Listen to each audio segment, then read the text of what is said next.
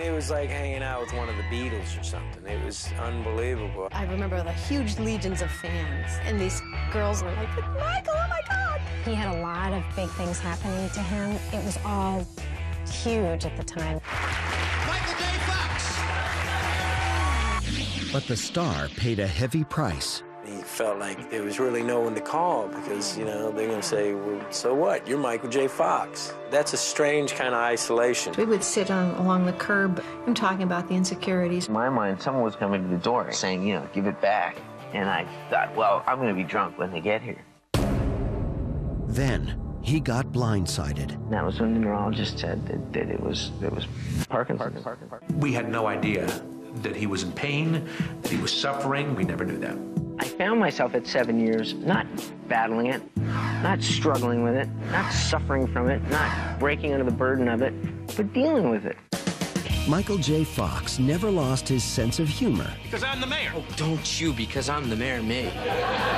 Now to know that he was able to be such a gifted comedic actor under such difficult and very unfunny circumstances was just phenomenal. In the next two hours, exclusive interviews and rare photos reveal the giant spirit of a little guy. He's fighting for his life, he's fighting for everybody else's life at the same time. This is the amazing story of Michael J. Fox. Time for quietly soldiering on is through. The E True Hollywood story. The war against Parkinson's is a winnable war, and I have resolved to play a role in that victory.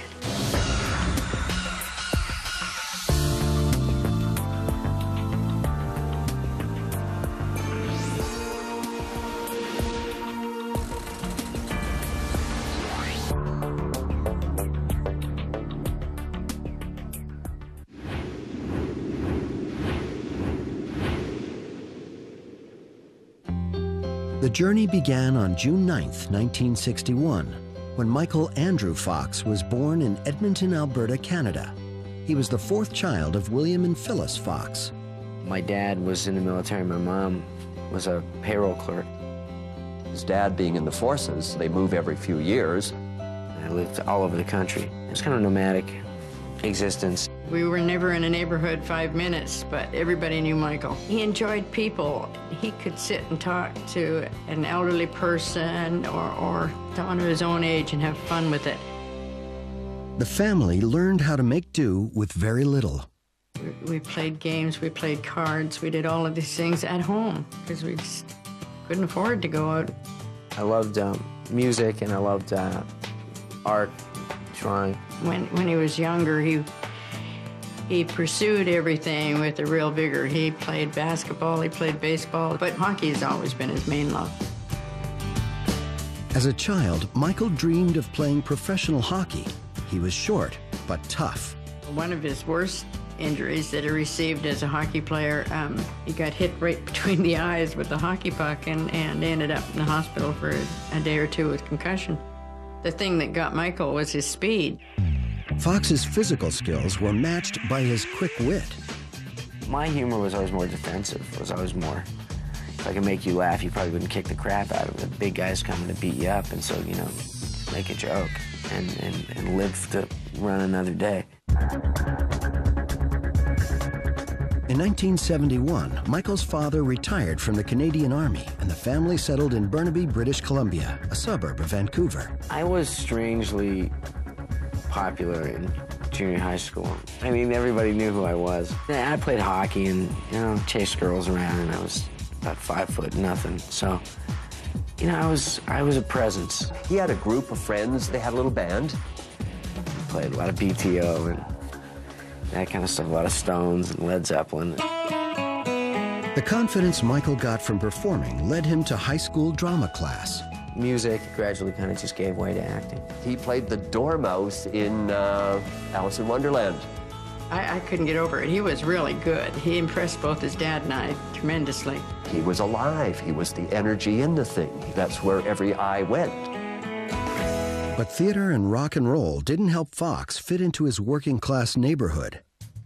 There were a lot of people um, who thought it was silly to, to want to be an artist or want to be an actor or want to be a musician. And that kind of frightened me because I didn't know what else I could do. Michael's drama teacher got him an audition to play a 10 year old in a Canadian TV show called Leo and Me. I just gave him a call and said that I had someone a bit older, but he could he could do it fine. You know, he could play younger. And I figured I'd be the brightest 10 year old they ever met. As soon as they saw him, then they just said yes right away. Leo, if we get evicted again, it'll be four times this year. It was a regular gig, and it was with real professional actors and real professional everybody. Leo and me are partners. And it pays reasonably well for a 14 year old kid who hasn't worked before. Real money. By the time he entered 12th grade, Michael juggled school and acting. One of the things that he did was a show called Letters from Frank, and it was with Maureen Stapleton and Art Carney and Mike Farrell. It was this kid from Canada who came in to play my son. There was just simply this desire to become a successful professional. Michael had it in spades. I really um, started to meet actors who, who I really, uh, you know, I just got, I just got it. I just got what they did, and I, and I realized that it was the kind of nonconformist, ne'er-do-well, goof-off, but semi-serious society that I belonged in. So I knew that was it for me. That's what I wanted to do. Michael's passion didn't help his grades. Mike's attendance at school was uh, uh, spotty at best. They'll say he couldn't come to drama class ever because he was working all day. He was more concerned about getting to getting to work and, and doing the work and preparing for the work. He would, uh, uh, again, push the envelope a little bit, and I think he paid the academic price for that. It didn't matter. Fox was leaving his mark on the stage, and the industry took notice. People that were involved were impressed with Michael, and he was then 17 years old, and they said, you know, when you turn 18, you should go down to Los Angeles. They really thought that's where the work was, and if he really wanted to be successful, that was the move he'd need to make. In April of 1979, Michael went to LA to find representation. His dad drove him, and he got an agent without too much problem. Fox signed with the well respected Gersh agency and immediately booked a Disney movie called Midnight Madness. Michael returned home to Canada and waited until shooting began in LA. When Mike told me that he, he intended to go to Los Angeles to pursue his acting career, I thought, just like everybody else, you know, it's, it's a dream and it's, uh, you know, you gotta go, you gotta do what you gotta do. That spring, Michael dropped out of high school. I should have been uh, more nervous and kind of scared than I was. People, you know, always kind of talk to me in terms of, well, what a brave decision or whatever, but it was just what I wanted to do. I was surprised that he was willing to go at 18 because he was always very close to us all. I recall the night before he was leaving, uh, John Wayne had died. And uh, I think the last thing I said to him is we, we said, see you later. I said, Mike, they're making room in, in uh, Hollywood for you. On June 10th, the day after his 18th birthday, Michael and his father once again made the long trip to Los Angeles, this time for good. Bill took him down and got him set up, and he came home and he assured me that everything was fine. I had this one room apartment that I'd rented for $250 a month, which at the time was a, actually a huge amount of money. And uh, it was really small. It was like 16 feet by like 8 feet with a bathroom that I washed my dishes in the sink. There was no kitchen. And I had a mattress and an alarm clock. Michael's role in Midnight Madness made him eligible for the Screen Actors Guild. But there was one problem. He wanted a catchier name. I was watching Bonnie and Clyde um, the night before I went down to the union to fill out my paperwork. And, you know, Michael J. Pollard always made me laugh. And I always thought he was a good actor. And um, so that, you know, I thought it sounded cool. Michael J. Pollard, Michael J. Fox. With a new name, a SAG card, and a role in a major motion picture, Michael finally felt like he belonged. Then the film ended and the Screen Actors Guild went on strike. If you're a professional and you're a member of the union, you are obeying the union's uh, dictate, that is that you don't work. Fox spent the next year surviving on macaroni and cheese, beer, and cigarettes.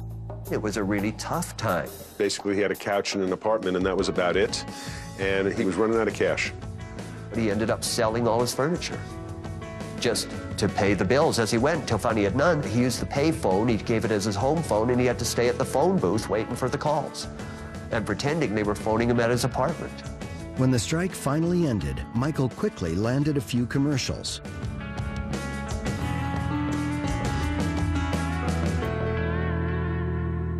I got a hot date out of the shower. You think I like scrubbing? You don't have to scrub. Not with Tilex Instant Mildew Stain Remover. Mom, I can't clean this without scrubbing. Tilex can. It's powerful. Just spray it, then leave. Mildew stains begin to disappear on contact with no scrubbing. The mildew stains are gone.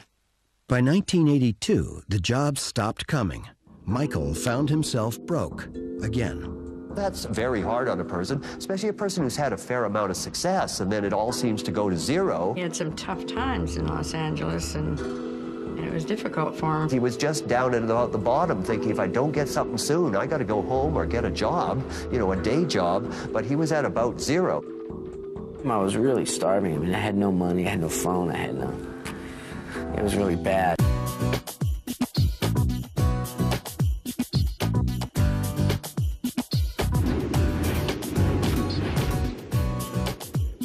In the spring of 1982, Michael J. Fox struggled to make ends meet while searching for an acting gig.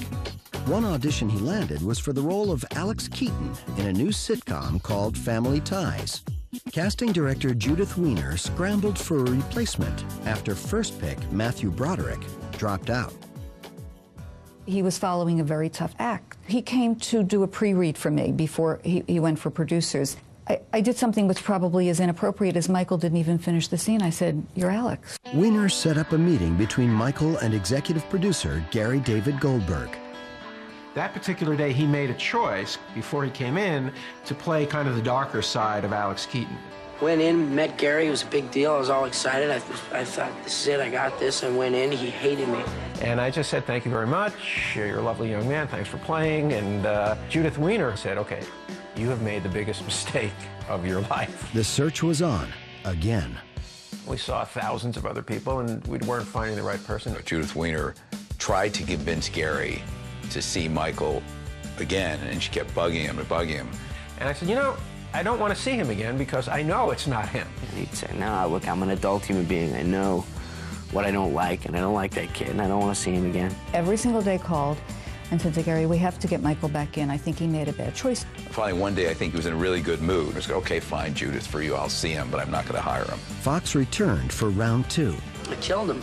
Went in to like totally blew him away. And he was perfect, you know, he was Alex. And so he left, and I turned to Judith and I said, Why didn't you tell me about this guy? He's great. Get a pen, you know. Goldberg got Michael's agent on the horn. Well, So we called Bob Gersh and we go, Hey, we want to make the deal. He goes, I have to wait for him to call me because Mike didn't have a phone. And he, uh, he used to get his phone calls at this Pioneer Chicken place up in Highland. Michael finally got the call, and in 1982, he joined Michael Gross, Meredith Baxter Birney, Justine Bateman, and Tina Yothers to shoot the Family Ties pilot. Well, I'm sorry, Kimberly. I don't think he's. Alex P. Keaton here. Smooth, Alex. When Michael added the P in Alex P. Keaton, I remember Gary Goldberg, our executive producer, uh, just this uproarious laugh. I don't think we ever found out what it stood for, but it seemed like a perfect affectation for, for Alex and his uh, quest for taking over the world. There was a sense that night that I, I was doing pretty well, and people were laughing at what I was doing. NBC chief Brandon Tartikoff wasn't one of them. Brandon goes, um, Gary, we love the show. We, uh, we want to pick it up. We have one note. I go, great. What's the one note? He said, replace Michael Fox. And I said, this guy is very proficient and he hits the comedy, but um, I don't think we're talking about somebody who's going to be on a lunchbox. And I said, I don't know, a thermos maybe? I mean, I don't know. How do you cast that way? Gary said, well, if you replace him, you can do the show without me because, you know, he's, he's the kid. Tartikoff caved, and Michael finally had a steady job. But it took a while to reflect in his bank account. At the time when we first started the show, he had, I think, a little apartment in Brentwood. And I don't know why, but he didn't have a car. And we very often hitchhike um, into the studio, and sometimes Meredith would give him rides. Say, you know, I'll pick you up at a certain time. So he said, fine, pull in the alley behind the apartment and beep. So I'd do that, and then I'd hear rumble, rumble, rumble, and the shower go on. I'm like, ah, ah, ah. and so I'd sit there and wait in the alley until he'd come running out and just throw himself wet in the car, and we'd race off to Paramount. I guess he was sort of dry en route. When Fox did spend money, he didn't lay out much. I drove in one day, and here's Michael arriving in his Honda, and I, I go, "Oh, Mike, you know, you got your new car." And he goes, "Yeah, I'm really excited. It's really nice." I said, "Why don't you get, you know, something even more than that?" He goes, "Well, I got to be careful. You know, the show may not last." Mike, at the very beginning, was quite sure he was going to get fired.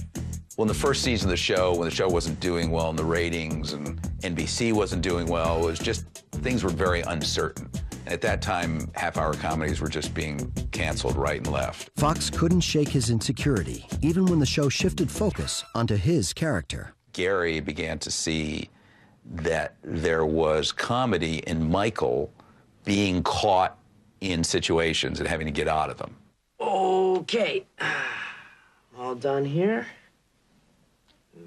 Goo.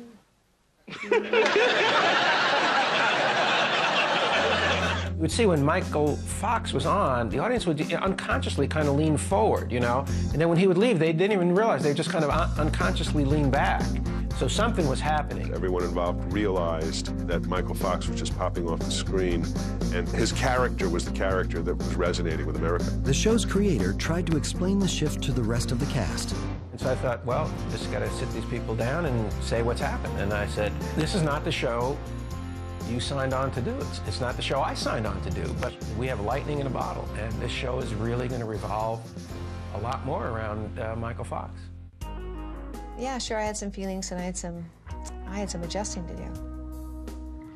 But I was on a wonderful show, that, and I dearly loved Michael Gross. Um, I loved Fox. I loved the girls. You know, it's it would be unseemly to stay unhappy too long. With Michael in the spotlight, Family Ties was picked up for a second season, and Fox got a well-deserved bump. Frank Mancuso was running Paramount at that time, and, and he said, this is not the part we hired this kid to do, and we want to recognize what's happening here and improve the deal. Things were also heating up in Michael's personal life. During a promo tour that fall, Fox met a young actress in a similar situation. I was doing uh, Facts of Life on NBC, and he was doing Family Ties, and they used to uh, make, make us go to affiliate parties, so we met um, during one of those times. And it was just exciting because she was in a hit show, and now Mike was in a hit show. Nancy was around a lot. I mean, she was like a fixture. She was, was there every Friday night. I would go and, and, um, and watch, you know, their shows. I often tried to copy something or some of what he did because I just thought he was, he was brilliant. Michael enjoyed his new notoriety. He felt uh, really good that, you know, he came down here, his dad brought him down, and, and uh, it was working out. Things were about to get even better. Steven Spielberg used to come every Friday night, and he was a, a fan. Spielberg was producing a big budget movie called Back to the Future. Unbeknownst to me, uh, Steven and Bob Zemeckis had gone to Gary at the beginning of the season and said, we want to use Michael in this movie. And he wanted uh, Michael to play originally in Back to the Future, uh, Marty McFly. But the movie schedule conflicted with Fox's day job. Goldberg couldn't bring himself to give Michael the news. He said, I don't even want to tell him because I don't want to you know, break his heart, but I can't let him out. Spielberg and director Robert Zemeckis settled on actor Eric Stoltz for the role of Marty McFly. But after several weeks of production, Stoltz wasn't working out. And I get a panicked call from Steven saying, I have to come over, I have to talk to you. And he said, we're shutting down the, the movie. Is there any way we can do it with Michael? And I was so insecure, I thought, God, Gary's calling me for a special meeting in his office. I'm out of here. What did I do? And he said, you know, he said, Steven wants you to do uh, this movie. So here's the script. Take the script home and, and read it and call him up and tell him what you think. And I picked the script up and held it to my head and said, yeah, okay, I'm, I'm in. The solution to Fox's scheduling conflicts was simple. He'd work on family ties during the day and back to the future at night. He used to like sleep in the back of a um, of a of a, um, a car. It was a blue station wagon, and they had a bed all laid out for him. And he would work all night on Back to the Future, and then kind of do it in reverse. So maybe he could get an hour of sleep or a couple hours of sleep wherever they were shooting. I, I sensed that he was in a precarious situation. Michael did his best to maintain some kind of balance. He was still there as much as he could be and as present as he could be for everyone in, in his life. Me, me included at that point. Michael's Family Ties castmates were not quite as understanding. It was basically, how is this affecting me? You know, uh, and sometimes I think some of us got a little bit out of shape, a lot of attention, you know, everything being pulled in one direction to make things okay for Michael. I think it was difficult for them to accept the fact, from an ego point of view, that the show schedule was revolving around him. Michael Gross and I think I'd had some conversations about getting a little big for his britches. Mm, this is, you know, there's some sense of awkwardness there. But the fact of the matter is that Michael's becoming a movie star was good for the show and ultimately was going to be good for them. But no one knew if it would be good for Fox. Mike would call me and he would go, Gary, you got to help me there. I can't be in two places. He was just being, he was being pulled in too many directions. He got to the point where he was in pretty rough shape.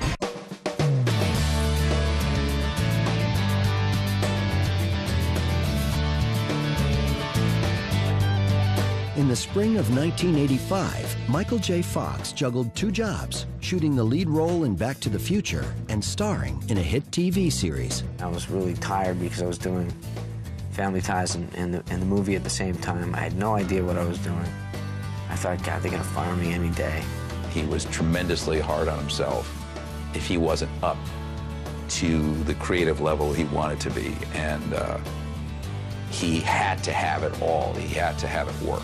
But I know he was really, really tired. But he always managed to have enough energy to be funny and to be wonderful. Do you mind if we park for a while? That's a great idea. I'd love to park. Huh? Marty, I'm almost 18 years old. It's not like I've never parked before. What? On July 3, 1985, Back to the Future debuted number one at the box office.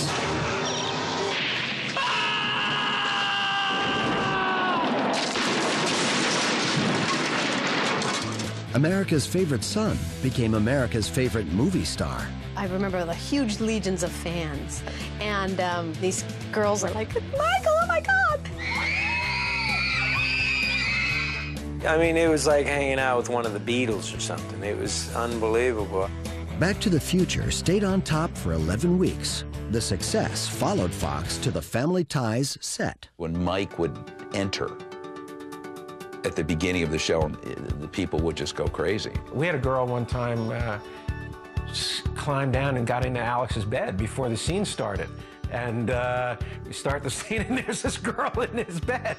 When we would do the show on a Friday night, and people were just killing to try to get in that audience. Michael had the golden touch. A coming of age comedy that he shot the previous summer also opened strong. Teen Wolf was like the biggest independent opening ever. They called me and saying, this thing is huge. All of a sudden, you couldn't walk on the street with Michael Fox. And he was getting mobbed. Well, I used to love just going around with him just to see people's reaction when they saw him. They just want, they just wanted to touch him. I mean, you know, traffic would, you, they, people do U-turns. Guys would be delivering messages on bike. They'd see him, they'd up on the street. He had a great impact on people. People just really, really loved him. He was royalty everywhere he went. And all of a sudden, you're in a situation where you have the top two movies and your TV show is number two. I mean, it is overwhelming. Everyone wanted a piece of the newest hot actor. Absolutely perfect.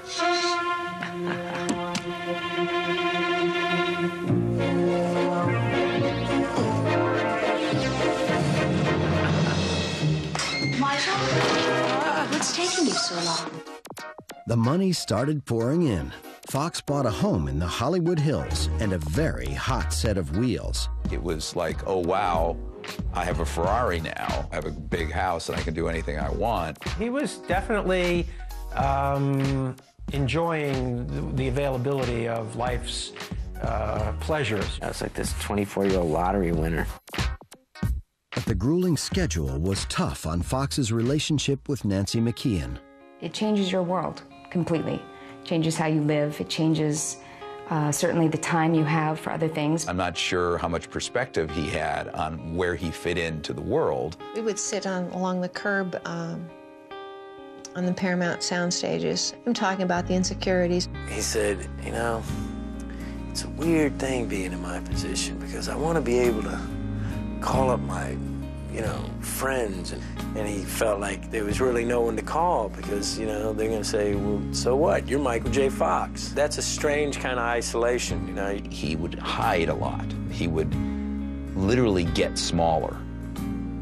That he would literally just shrink. Everyone else is going, oh, you're, you're the biggest, you're the best, and everyone else is falling on you and taking your picture everywhere you go. And how do you keep some sense of yourself? It's a kind of a natural thing that happens in, in Hollywood. You know, you can fall into this kind of bubble where you're not really uh, experiencing the real world. In my mind, someone was coming to the door any day, banging on the door saying, you know, give it back. And I thought, well, I'm going to be drunk when they get here. Alcohol seemed like an easy escape. He loved beer, and he used to drink a lot of beer. One night, he and I were just drinking like a million beers, and you know, he he was just drinking me under the table. He lived uh, kind of fast in some ways. Mike picked up early on. Said, you know, sometimes uh, because of who you are and what you do, you know, you don't have to pay the price. I was like a little prince, and, and I could get away with anything. Almost anything. When a New York theater actress named Tracy Pollan was hired to play Alex's love interest, she didn't hold back. Tracy was not like other girls. She was not fawning on him. She was very, you know, tough. One day she came back from lunch, and I, I guess she had, you know, she had pasta or something for lunch, and, and it had garlic. So she walked in, and I, s- and I just said something. I just said, I said, uh, I said, well, scampi for lunch or what? And she said, you were the rudest son of a bitch I've ever met. And then, like, walked away, and I just went, oh, I love this woman. Who is this girl? The on-set connection between Michael and Tracy was undeniable. You come on like some obnoxious guy.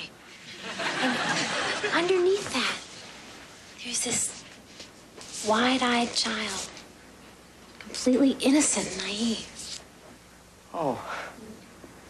Sad. that uh, sort of a compliment? When Mike was in those scenes, she brought him up.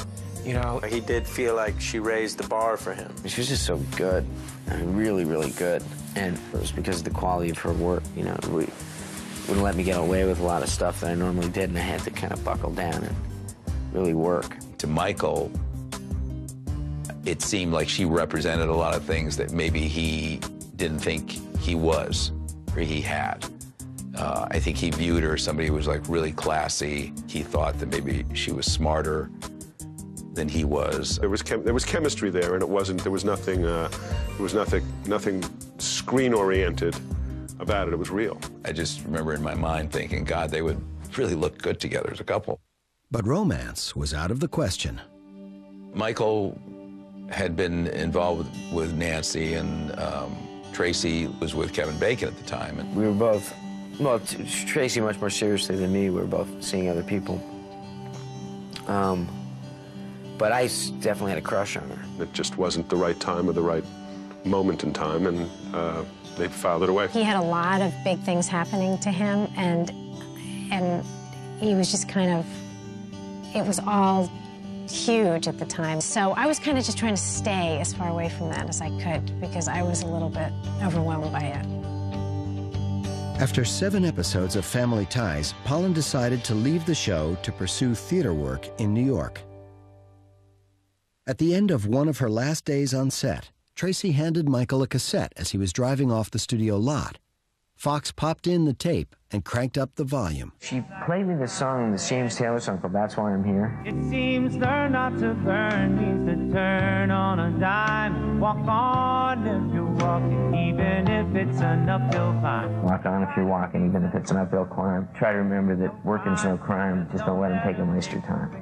You can only go so long with having the good times and not getting your proper rest. And what Tracy did was was help him realize that, you know, you're good, but you could be better if, if maybe you took care of yourself. Now, she was real with him, which is what he needed.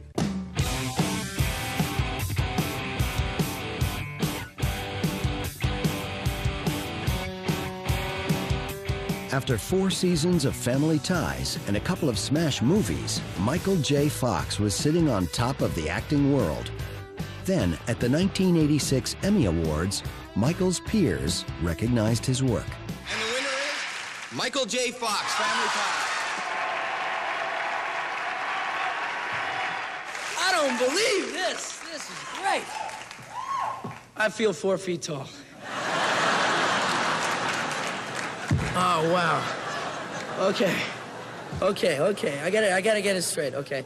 Um, thank you, Academy. Uh, this is unbelievable. This is great. You know, I, the first thing that I thought of to say was I feel four feet tall, which is a, you know, which is a funny joke, but at the same time too, I think was just an admission on my part that there's no way anyone can measure up to this. And also, I want to thank my family at home in uh, beautiful Vancouver. Mom, Dad, I love you. I got the telegram. It made me cry. This is cool. Thank you all. When he won it and said hi to all of us, of course, there was a bucket load of tears going on all over the place. To have, have that moment up there and to be able to say whatever's important to you in your heart is, is a really special, special thing. And it was just so great to see people understand the level of his, of his talent. It was, uh, it was definitely a big moment in his career. But as 1986 came to a close, Fox's relationship with Nancy McKeon also came to an end. You don't always get to spend the amount of time with people that you would you would like to, and um, you know, so for us, it just kind of it it moved into you know an, an amazing lifelong friendship. Single and with an Emmy in his pocket, Fox kicked it into overdrive. I'm sure it was like, okay, you know, you guys, you guys uh, acknowledge that and you recognize that I'm, you know, want to show you that, you know, this wasn't a fluke. He pursued his acting career the way he played hockey. You know, there was that, that pushing, pu I'm going to push myself harder, I'm going to try to do more. That included more roles in big budget films. In 1987, Fox signed on to play a destructive young man in the druggy drama Bright Lights Big City. The cast included Kiefer Sutherland, Phoebe Cates, Swoozie Kurtz, and another familiar face. Sorry I'm so late. Oh, it's okay. I was just looking around. This is a great bookstore. That was the next time, you know, we saw each other. I said, "Now, how's, how's your boyfriend doing? And she said, actually, we broke up. And I said, what are you doing for lunch? Ted is a hell of a guy. Tell you, you gotta admire his his style, you know, his joie de vivre, his savoir-faire, his, his, his sprezzatura. He's not necessarily a man for a heart-to-heart, but he, he's been a good friend to me at a time of need, and and he's generous in his own careless way. You know, you two very close. I think he's an ass. Exactly. We were both single at the time, and that's when we started dating. And he always talked about how great she is. He, he thought she was the one from the get-go. I met Tracy in, in time and knowing her and falling in love with her, I got to a point where I would step in front of a train for her. This time, Michael wasn't going to let Pollan get away. I tossed the box at her with the ring in it. I think I'm like, here. This, I mean, you know, I'm not very good at those moments. Um, I think I, I think I was pretty awkward about it. Yeah, I kind of did one of those. I kind of, yeah, you want to do this? so she said yes. I mean, he did have a nice ring. It really was, you know, um, it was it, it was nice. It was it was a gift that she came back, you know, into my life, and it's just one of those things. You know, be patient.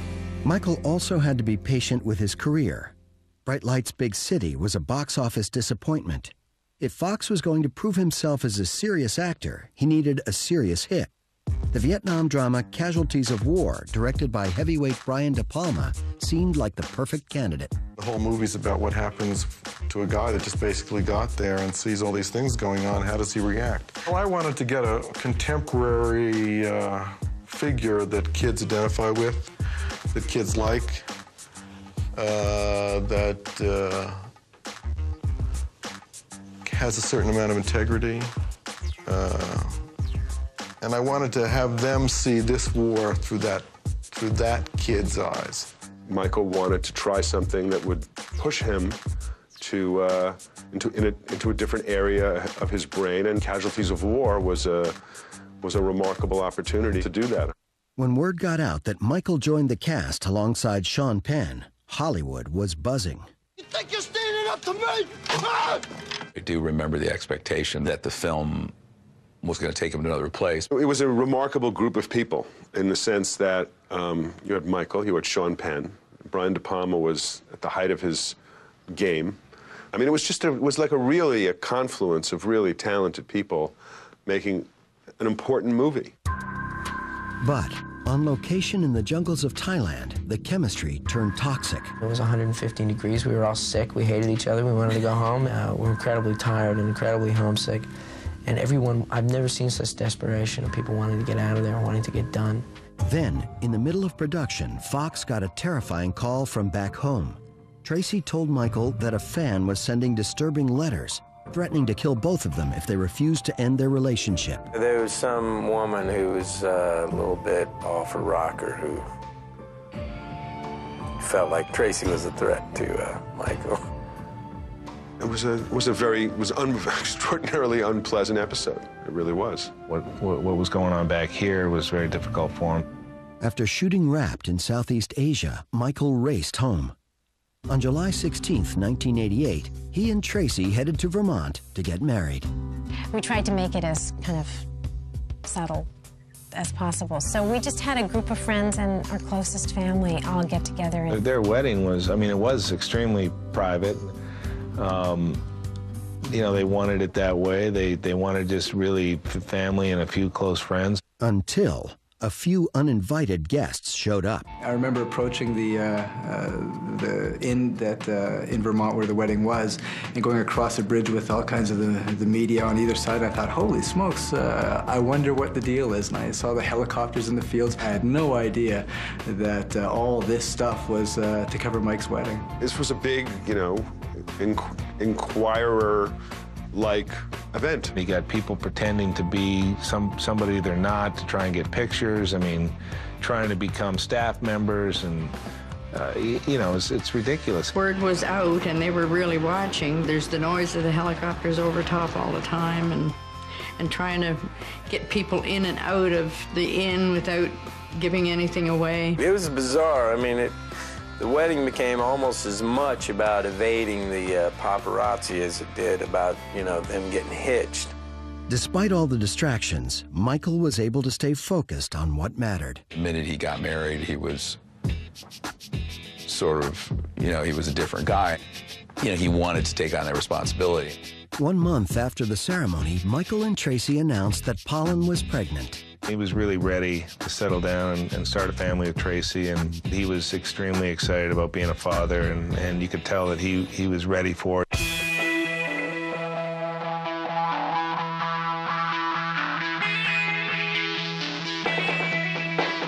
In the fall of 1988, Michael J. Fox looked forward to both a beginning and an end. Michael's wife Tracy was pregnant with the couple's first child, and the TV series Family Ties began taping its final season. We like here too. I mean, I can't believe you won't let us use. Michael was growing up, and so was Alex P. Keaton. Gary felt that it was time and that maybe the character of Alex was getting a little old to be in the house. And he knew that if you moved him out of the house that the show wouldn't work.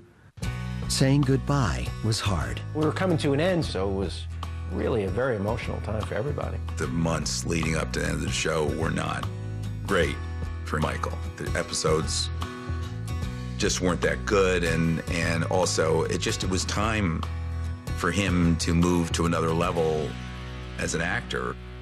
Universal was ready with an offer. The studio behind Back to the Future wanted a sequel to the box office smash. had to be bigger and better and bolder, and you know, it had to be all of the things that sequels are supposed to be. And they were there was no such thing as spending too much money because the first one had been so successful. Originally, we were only going to shoot the second movie, but the script was really big, and they decided to expand it to two movies. And they made us what they thought was the most magnificent offer they could possibly imagine, and it was frankly laughable. And um, it was it was a very hard, arduous, difficult negotiation. Michael probably made a lot of money on two and three. They ended up paying him more than they wanted to or thought they would have to, but it was fair, and we made a fair deal, and he did both movies. Filming for the sequels started in early 1989. Meanwhile, ominous letters from a deranged fan continued to arrive in the mail. The newest threats included Michael and Tracy's unborn child. He had bodyguards and had all that stuff that he had to do to protect himself, you know, and, and the family. On February 3, 1989, police traced the letters to a 26 year old woman. In her house, authorities found the typewriter where she wrote an estimated 5,000 notes to Michael and his wife. The woman later pled guilty to making terrorist threats and was ordered to stay away from Fox and his family. Then, in April 1989, Family Ties filmed its final episode. My recollection of the last week on the show was a supreme disappointment because they gave us a script. It was nothing that seemed worthy of the culmination of seven years. We all had talked about it being too important and we were being let down by the show. We literally did not have a couple of the scenes written until Friday night. That's how completely crippled everybody was. And then when we came in on the final day and they had a killer script. The theme of it, Alex leaving, just played into what everybody was dealing with. Look, this is a very big deal here. I'm, I'm not just going across the street. I'm picking my whole life up and I'm taking it to New York. I remember that he is packing to go away to school and he's excited he's going to New York. And ah, they had me singing, sing to him. Angry, start spreading the news. I'm today. Because if it were me, if it were me, it would break my heart. It would tear me up. Well, don't you know how hard it is for me? I, I realized I hated so much that I was saying goodbye to this guy. And I just went over to her and I, I put my arms around her and she said to me, she said, I'm so sorry. And I said, for what? She said, because I made this difficult. And I made it difficult because I never knew for real what it is we had. Michael was just such a presence to me. And, and maybe going back to those, the time when I, I would pick him up. It was just the arc of where we'd gone, where we started, when we went to. We did the last scene of the show, and it was a thing where I knew that the scene was clean, that is, that we didn't have to do any pickups. So I went, I went backstage, and an AD was there, and he handed me a beer. And I took the beer, and I took a sip of it, and then I heard, that's a wrap.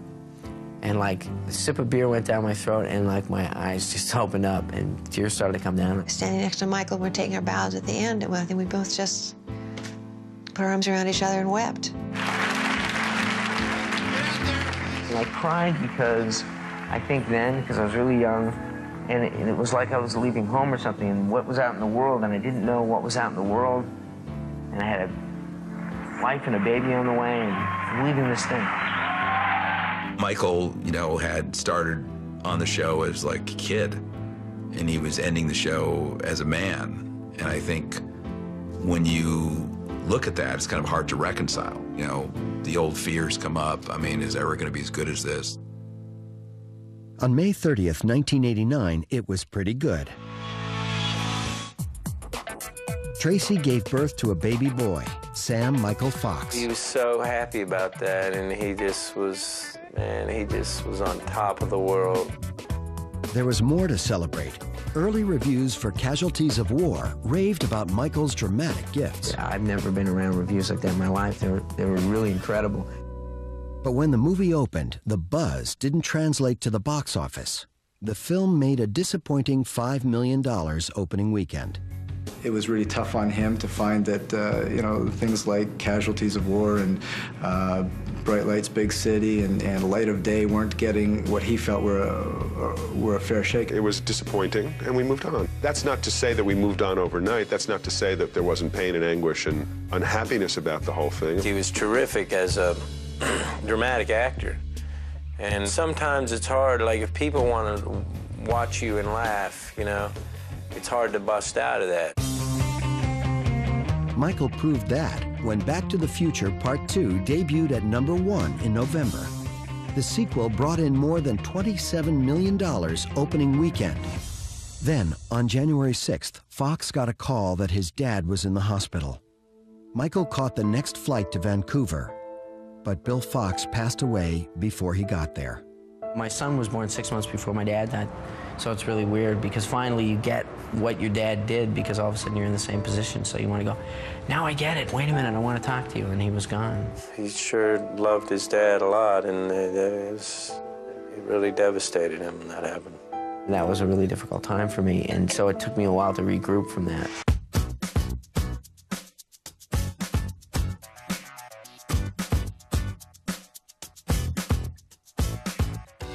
The summer of 1990 was a good one for 29 year old Michael J. Fox. He cherished time with his wife Tracy and young son Sam in their new home on the East Coast. Back to the Future Part 3 opened huge and was well on its way to earning more than $200 million. That fall, director Michael Caton Jones pitched his film Doc Hollywood to Fox. I met Michael, and I really liked him. We got on. Within 20 minutes, we decided we should do this film. The movie shot in Florida, which meant time away from Tracy and Sam. But Fox made the deal in part because he got to pal around with his buddy, co-star Woody Harrelson. We were in a, a parking lot outside of some bar. We got into, uh, you know, this slap boxing, you know, which we used to do sometimes. So I, I, guess I got in a couple of good swats, and he was not resting until he even scored. And man, we were all over that parking lot, up on top of cars. You know, with his boundless energy, he's not going to let up. He's like a bull terrier.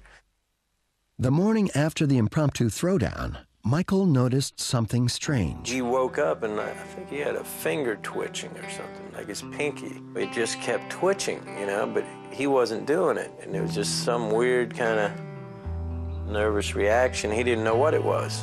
Had a couple of beverages the night before, so, you know, I wasn't really thinking clearly about it at all. Um, but I, I, I knew that something was happening. I didn't really know what it was. It was, you know, half alarming and half amusing. Just to be sure, Fox saw a local doctor. He gave me a few tests. He said, well, at your age, you know, he said, there's nothing neurological that I can imagine it would be. He said, you probably whacked your elbow. Michael went back to work. In the summer of 1991, Doc Hollywood was a major hit. To celebrate, the actor took his family on a much needed vacation to Martha's Vineyard. My wife saw me jogging one day, and I was really kind of lopsided, and my left side was, was obviously not functioning uh, normally. So she urged me to go to a doctor. This time, the doctor's news was terrifying. And that was when the neurologist uh, gave me some tests and said that, that it, was, it was Parkinson's. The first symptom you see for a lot of patients is a shaking tremor in one of their hands. I remember him telling me, and I was just like, wow. It's like that old cliche of you think you know, that could happen to anybody else, but you know, it doesn't happen to you or your friend, you know. I had a lot of denial, and I had a lot of, um, and I had a lot of panic, and I had a lot of negotiation. I was heavy into negotiation. I was heavy into thinking, there's got to be a way out of this. There's got to be a way that I can do something or manipulate this in some way. It was devastating news. I mean, men that age don't have that happen to them. I wouldn't say that I was devastated. I was very shocked and surprised. And when I think of that moment when I told her, and she didn't panic, she didn't draw back. You just go, You are in this with me for the long haul, aren't you? And I could just tell immediately that she was. And then it was like, Okay, we'll deal with it. Michael decided no one other than family and close friends would know about his illness. He certainly made a decision, hey, I'm, I'm, I'm keeping this to myself, and, and I'm going to do what I can to keep it to myself and not have a, anybody that I don't want to know know what's going on with me. Like a knife fight in a dark closet, you know, I just, um, it wasn't something I expected anyone else to understand. I, I felt it was a personal battle. His concern was that instead of just being treated like Michael J. Fox, it'll be treated like Michael J. Fox with Parkinson's. Everyone had a fear of pity, uh, because pity, pity can be a step away from abuse, you know, and it's not something I'm comfortable with. He just isn't a person that that wants pity of any sort. I thought, well, it's really purely only my business. Doctors told Michael he could expect to be able to work for another 10 years. With his secret safe, Michael signed an eight figure multi picture contract with Universal Studios. In terms of my career, there was I'm going to take advantage of everything I can now, make as much money as I can now, do as many films as I can now, because I've been pretty much given this, this deadline of 10 years. The first movie of the New Deal was For Love or Money. The pressure brought back some old habits. There was a gradation in his level of alcohol intake. It escalated. I was drinking, just being alone drinking, and just kind of get away from it and not look at it and not deal with it. He just internalized everything and just pretended it was going to go away. And uh, obviously it wasn't going to go away, and he was not really handling it properly. It was leading him down a path that, that you know, was nowhere. One night, after a long day of filming for Love or Money, Michael tied one on. Been out the night before, and I'd woken up on the couch, and I'm all sweaty, and I looked down at the floor, and I saw Tracy's feet. I did this slow pan up and expected to get to her face and see her very upset at me. And I didn't. I saw her just kind of uh, exhausted and disgusted with it. You know, she's basically saying, this is going to be your reaction to this.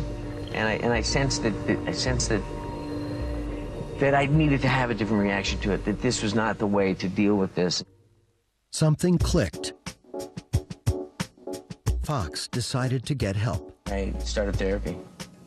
I really got to a point where, where in not looking at the fact that I had the disease, um, I'd shut everything off. So until I dealt with that, I couldn't go forward. He transitioned from being a boy in a bubble to being a man in the real world, really. He did step up and just took responsibility for a, a lot of things. Michael also pursued state-of-the-art treatment for Parkinson's. Doctors prescribed powerful medication that helped keep the disease in check. He took certain drugs that stopped the shaking. Fox was able to keep working, but For Love or Money, Greedy, and Life with Mikey were all disappointments at the box office. The movies didn't work. Agents put clients in movies um, and have to take responsibility um, with some frequency for, for failure. The actor decided it was time for a change. I've never been fired by a client in a classier way. He went to the Creative Artists Agency because they represented a lot of movie stars, and you know he hoped that they would uh, uh, be better at picking movies for him. Michael knew how to push his career forward, but nothing could stop the relentless progress of his disease. Constantly, I'm having to add more to my repertoire of little, you know, sleight of hand and little tricks, um, more and more. And there were, you know, other things. Uh, movement was affected. There's certain rigidity, uh, expression. My grandfather had Parkinson's.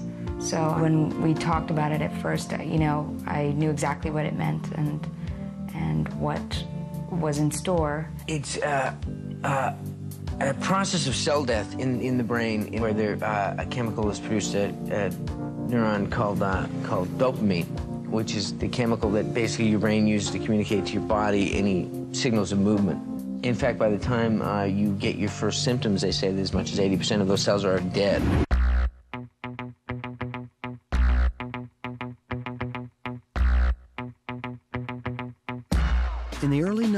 Michael J. Fox worked on a string of movies and continued his secret battle against Parkinson's disease.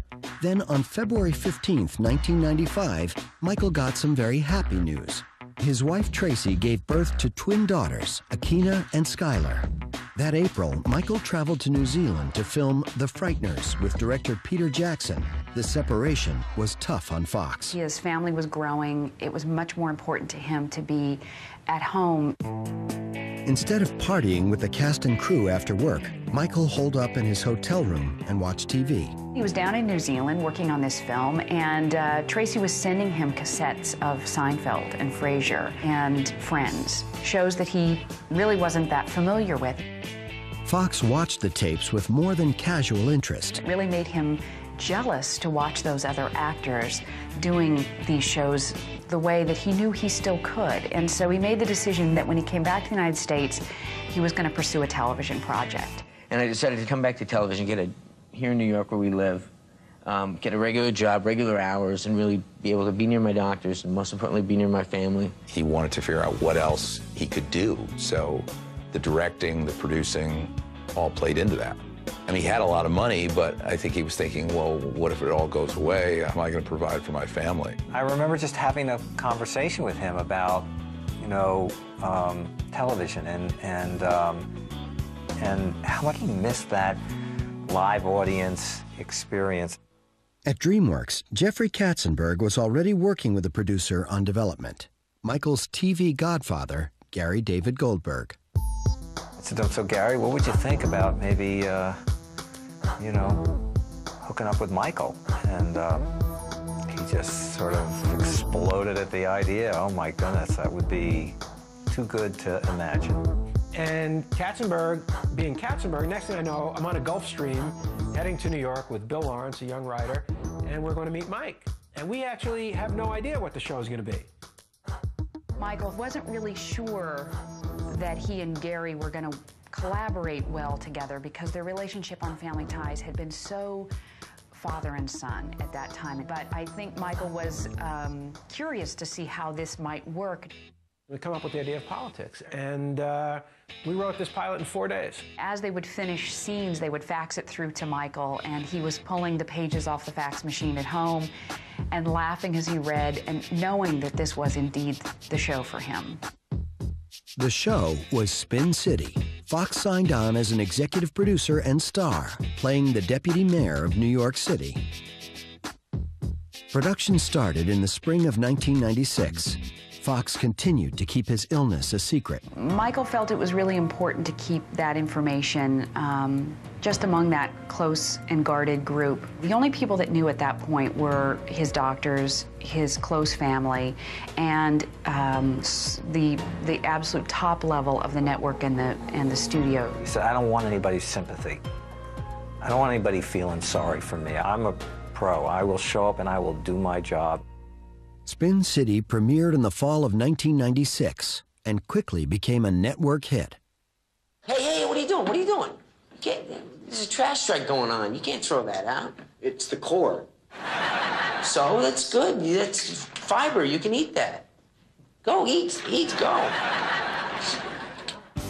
The fans' love of the show was totally based on their love of Michael J. Fox. It was, hey, Michael's back. It's like an old friend that you haven't seen in a long time, and and wow, look how good and how funny he is. It's it's been, it's been like walking into a hug. You know, it's really been great. For the first time, the people weren't going, "Hey, Alex," or "Hey, Marty McFly." They were going, "Hey, Mike Flaherty." Spin City continued to be a solid performer for ABC. But the once sweet relationship between Michael and Gary turned sour. Michael wanted one thing, and Gary had to step aside in order for Michael to, to achieve it. In, in the scene, Mike has to A, be Mike Flaherty, but B, be the executive producer. That was hard for him, it was hard for me. I was most comfortable, more comfortable not sharing a vision, you know. But um, that was the agreement we had made. There was clearly friction, and there was no question. And um, uh, and from time to time, I found myself as a marriage counselor in, in in the relationship. I also felt that his relationship with Gary sometimes was problematic because Mike had anger about his father being gone and anger about being sick, and it had to go somewhere. Goldberg and Fox worked out their issues. At the same time, the demands of a weekly series forced Michael to pay extra close attention to his treatment. Stop, stop. The medication that he'd been prescribed has to be perfectly timed. In order for him uh, not to be symptomatic on camera. There were times where you couldn't shoot because Mike wasn't ready. And there was really nothing you could do, and it was very frustrating to him. I had a big turn on my left side, and I would just, I just get so angry at it. Not, not at, not at God, not at myself, not anything else, but I'd just be like, you unreasonable son of a, you know, what can I do here? We used to curse him because he would hold up shooting for so long. And we used to go, oh, come on. What, he has to get ready, and you, think we don't get ready? We work up our energy so that at 7 o'clock, we can go out there and give it our best. And all of a sudden now it's 20 after 8. Where the hell is he? Come on. I couldn't do things on their schedule. Because when you have Parkinson's, it's really a matter of how your, your medication goes. Everybody had to be ready so that if Mike was available, you had to go, okay, now, back in that scene, let's shoot the scene with Mike here. Forget everything else we're doing. You, had to, you would drop everything, and people thought he was being a little bit of a prima donna. These few occasions where he wasn't ready. Um, was slightly suspicious because it just is so unlike him. Riding in a limo in early 98, Michael nearly blew his cover on his way to an awards ceremony. If you're walking into the Golden Globes I guarantee you, at any given moment, 150 to 200 people are looking at you. So that the pressure of that moment, if I if I was feeling sympt- symptomatic, which I was, my arm was was tremoring and my my leg was tremoring, and uh, I didn't want to get out and walk through that gauntlet. So I, you know, I said to the guy, you know, let's go around the block. Let's go around the block. So he, I don't know what he thought was going on back there, but he, uh, Tracy was massaging my shoulder. Maybe he thought, you know, have a little fun on the way to the Golden Globe. Michael finally pulled it together and ended up taking home the Globe for his work on Spin City. But back on the set, people kept asking questions. Michael had um, been bitten by a tick, and so when there first started to be a few rumors that there was um, something physically wrong, he was able to truthfully announce that yes, indeed, he was suffering from Lyme disease. He would say, "Well, I'm on, you know, I'm on medication for Lyme disease, and so, you know, that tires me out." He knew that in order for him to continue to work on Spin City, he was going to have to do something about what was becoming an increasingly difficult tremor for him to control. Doctors suggested a surgery called a thalamotomy. The operation destroys a tiny area of the brain called the thalamus that controls some involuntary movements. It was not a cure for the disease, but would hopefully lessen the tremors. Michael settled on um, uh, on getting the surgery, and once he makes a decision, he, he rarely second guesses himself.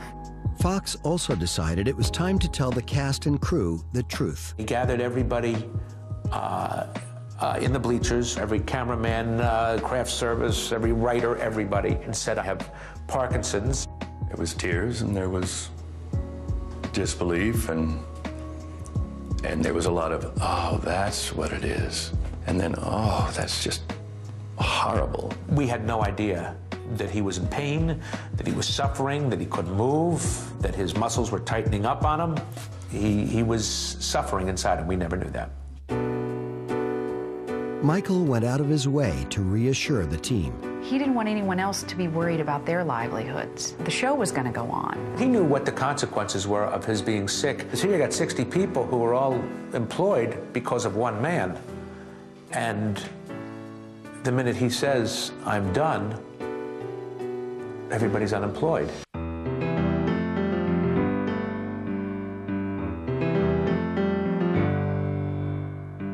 The spring of 1998, Michael J. Fox divided his time between working on the hit show Spin City and his battle against Parkinson's.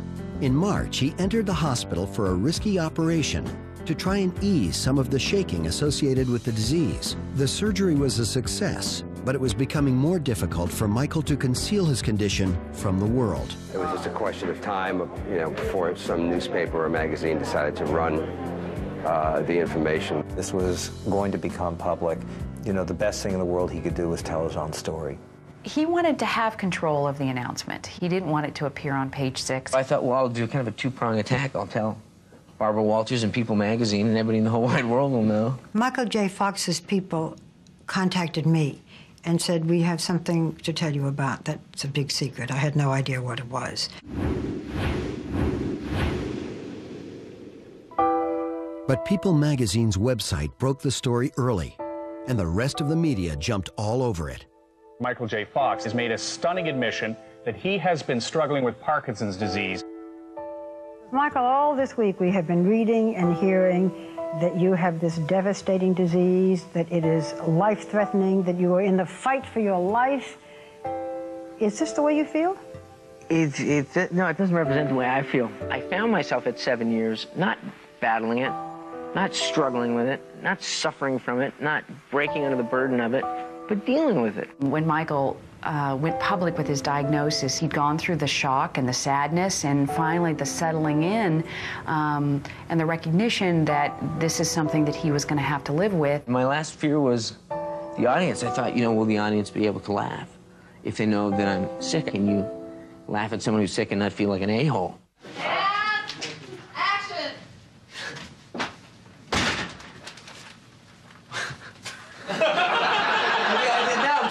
God bless Michael Fox for being so good at what he did that even after two or three weeks of the country knowing that he was ill, he still was confident enough to go and make people comfortable that they're watching a pro.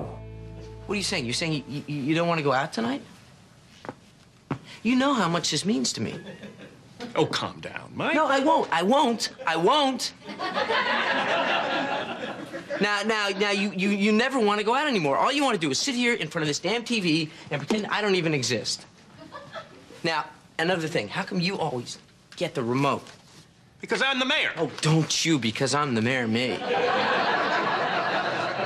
He knew what he had to do to get the job done. Even if he was nervous about doing these shows in front of the public, certainly didn't show it. I mean, we didn't stop doing live shows, you know, we didn't stop going out on the street. Now to know that he was able to be uh, such a such a gifted comedic actor under such difficult and very unfunny circumstances was was really appreciated by his fans. If you look back through the annals of uh, television history, you probably would not find a situation that unique and someone who, uh, you know, was e even able to do that. That was that was amazing.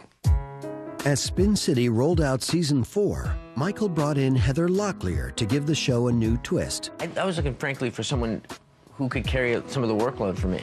One of many things I think that are very, very, very hard about Parkinson is, is that uh, how tiring it is. Um, physically debilitating it is. He was starting to feel a, a little bit more weary um, with what he was putting his body through on a weekly basis. Fox couldn't control his day to day symptoms, but he was determined to fight the disease. The outpouring of affection from his fans was one of the things that really led to him deciding to start his own Parkinson's Foundation. He, he just immediately was sort of engrossed in the idea of I've had, had the most incredible life and I've been a very lucky guy and I'm going to be a spokesman uh, for this. The more public awareness he had for his role in Spin City, ultimately, the more public awareness he would bring to his organization and to the fight for a cure for Parkinson's disease. It was just a great opportunity. It was just a fantastic opportunity, and I couldn't see anything that could be as important as stepping into this now. Finding a cure for Parkinson's disease. Frankly, I hope I'm out of work within 10 years. Because that's how fast scientists feel they may crack this thing. So go to my website and see what you can do. Together, we just might wipe out PD this decade. Okay, well, I'm gonna get off my soapbox now. Thank you for your support. It was a, it's a difficult disease to talk about and to deal with him. And um, he put a face on it that was um, accessible. You know, it wasn't just your grandfather. You know, it was this accessible, ingenuous young man who was now, uh, you know, on, his own crusade for the good of, of, of all mankind. He was going to take the flag now and carry this forward, the torch of, you know, of driving people to focus on this and, and to bring attention to it and shine a light on it and go to Congress and raise money. Michael made several trips to Congress uh, to advocate for research freedom issues. What I understood very clearly is that the time for quietly soldiering on is through. The war against Parkinson's is a winnable war, and I have resolved to play a role in that victory.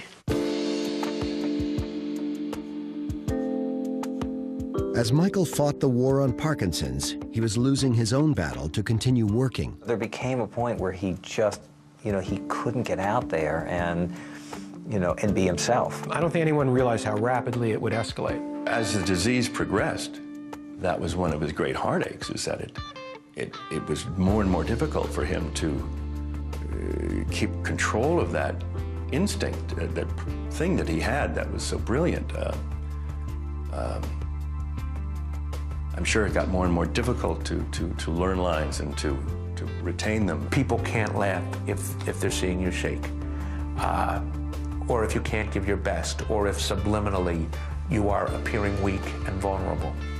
And we went on vacation down to the Caribbean. I went snorkeling and I saw a turtle, and I followed the turtle around for like a half an hour. It was just, I wasn't thinking about anything but where, where was the turtle going? And, and then I, I got out of the water and I took up my stuff and I put, put it on the towel beside Tracy and said, I'm done. That's it. When he told me that he had made the decision to retire, I just burst into tears. It shocked me when I realized that he couldn't go on anymore, you know? When he was diagnosed, his doctor had told him that he could work for another 10 years. um, at age 29, and it was pretty much 10 years to the day. At that moment, it was the end of his acting era. Michael kept his promise to the cast and crew that the show would go on. Producers hired Charlie Sheen and planned to move the series to LA. But first, they had to shoot the 100th episode, Michael's final show. All smiling, all smiling, all smiling, good? Here we are with our cake. you guys are so great with the cake. I see three cakes. During that last week, I think for everyone, the, the sympathy that everyone had for him and the sorrow that they weren't themselves going to be able to enjoy his talent and the joy of working with him every week was just really just incredibly sad. I mean, I, I cry now even thinking about it. It we just went through boxes of Kleenex. Okay, well, uh, see you later. Uh, Stuart, Caitlin. Uh, Paul! yeah, that's right, Paul. became about so much more than just a final episode of a, of a TV series. You know, it, it became it became about Michael's history and, and future. It was just, just so tremendously touching and um, I think just so well done, so classy, and just so perfect for Michael. During award season, Hollywood agreed.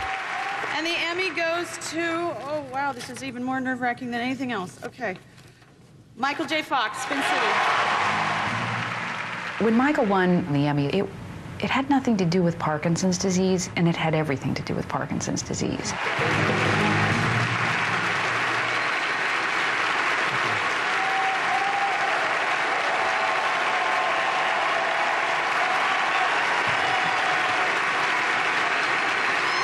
Just want to say uh, uh, to you people at home, wherever the camera is, thanks. It's it's been a great ride, and um, and you know, stay tuned. Thanks a lot.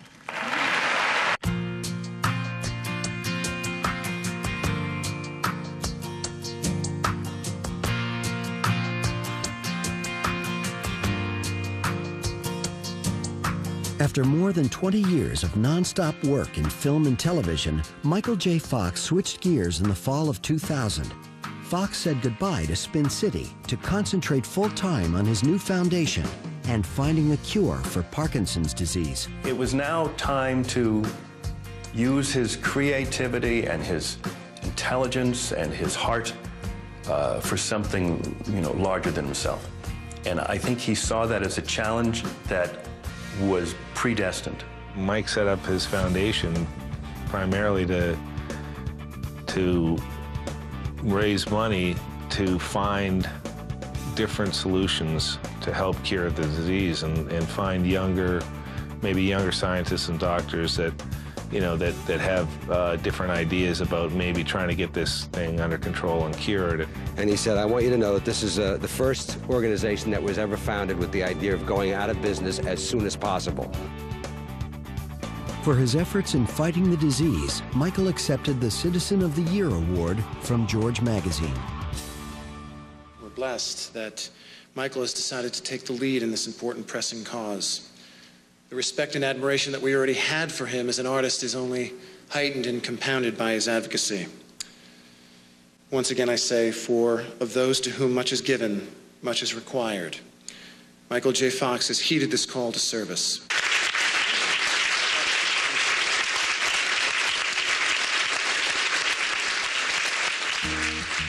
In accepting the award, Michael remembered back to when his wife-to-be gave him a very special message.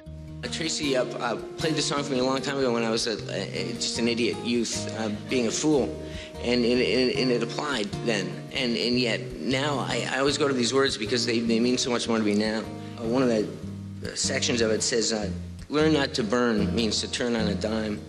Walk on if you're walking, if, even if it's an uphill climb."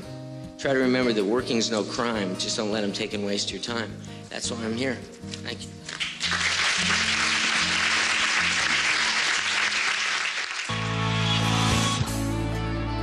In 2001, Michael and Tracy welcomed their fourth child into the world. My name's Esme. Esme Annabelle and Tracy's great. Did a fantastic job. The kids are really excited. It certainly spoke volumes of where they were as a you know as a couple and where they wanted to go in the future. Mike's family is uh, the most important thing in his life to him. He holds his his children at the center of his life and, and wants to uh, bring them up uh, as normal as possible, I guess, under the circumstances. His young family kept Fox focused on the future.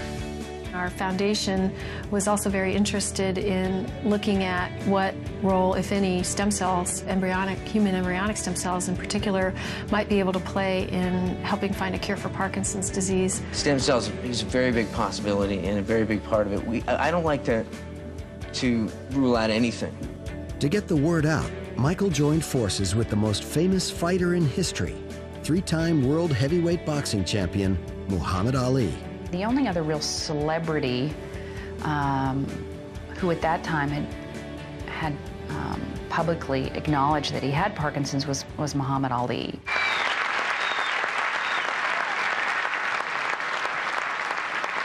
He asked if you wish to challenge him. No, that's uh, there's no ropes for me to lay against. Uh, no, no, I'm, I'm, I'm happy to be in this corner, not, not on the other side. The foundation began throwing a yearly fundraiser where friends and colleagues came out to show their support. The work that Michael J. Fox Foundation is doing is so important, uh, obviously. I mean, those uh, to raise money and awareness, first of all, and to raise the money for research. It's very important what's going on right now. So, you know, I, I can help change my friend's life and the life of millions of other people just like him. No, I'm not surprised of the turnout uh, or of what he does because if he sets his mind to something, it gets done. The reaction has been amazing, and, and what I love about it is that so how, how, quickly it went right into action, and people not only are showing support for me, but really getting involved and, and, and pushing this along. Michael was on a mission. He took the fight to Washington, D.C. He did a very brave thing, which was go in front of Congress without having taken his medicine and show them what this disease really did. I'm here to tell you that administering a successful research program is not rocket science. It's mostly common sense and the will to get things done. And we're going to get this done. This subcommittee, this Congress, and the NIH have the opportunity to make it happen in time for many more people today living with Parkinson's. Thank you. Oh, to me, oof, you know, it's impossible to even try to imagine the level of courage that takes to do that. That's, that's huge. In 2002, Fox opened his life to the public again when he published his memoir.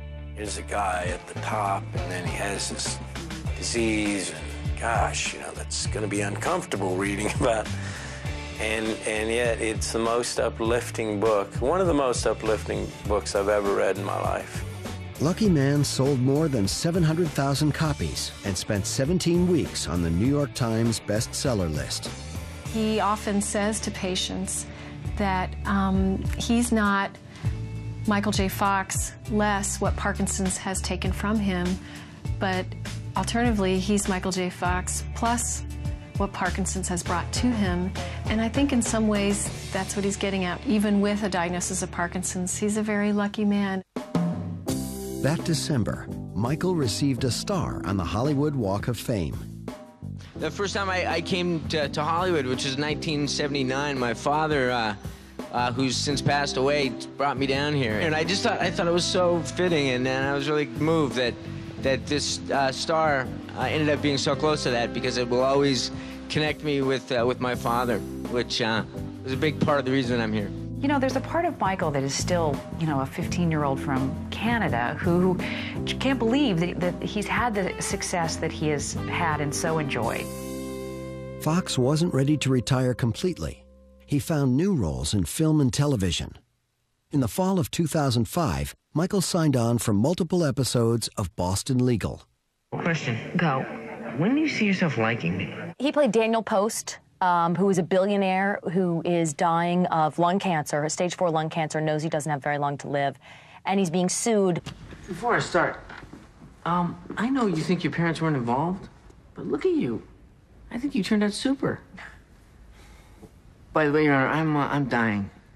The part required him to be um, very calm and very focused and uh, and very determined. I object. You object. He's trying to garner sympathy, Your Honor. I only mean to say that my current situation gives me a unique view on life. Now, for somebody with Parkinson's disease to play a calm and, uh, and, and focused individual, I mean, that, that takes a great deal of concentration. I can't imagine how nerve wracking that was for him to, to have to think about it and, and think about, oh, don't move your arm or don't move your leg. You built a billion dollar company from the ground up. Why does this excite you?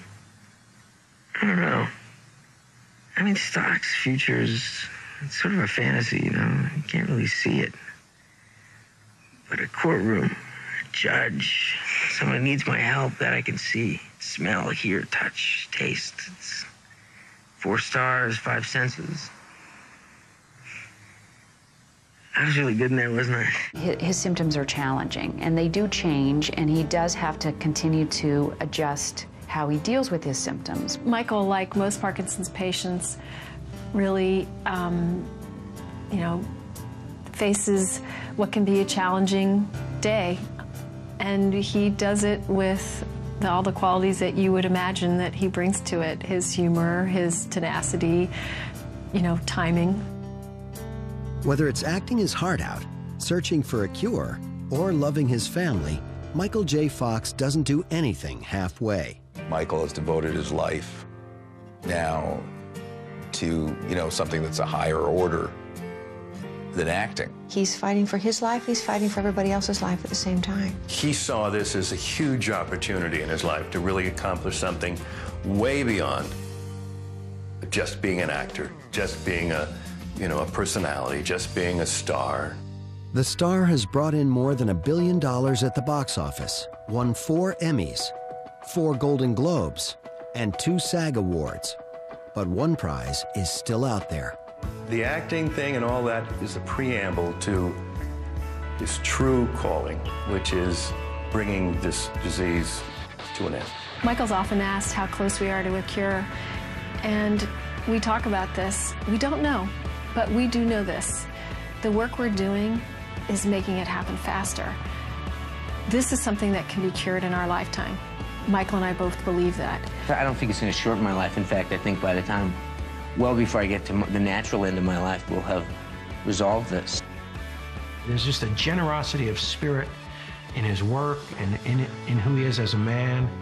And uh, he is a ferociously intelligent and talented guy. It's uh, in that cute little package is a guy who wants to win. He's a fellow who uh, knew from an early age what he wanted, and he was hell bent to uh, to realize his goals.